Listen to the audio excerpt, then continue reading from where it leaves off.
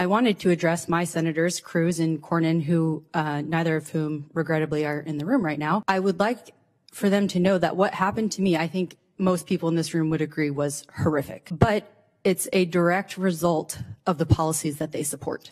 I nearly died on their watch. Furthermore, as a result of what happened to me, I may have been robbed of the opportunity to have children in the future.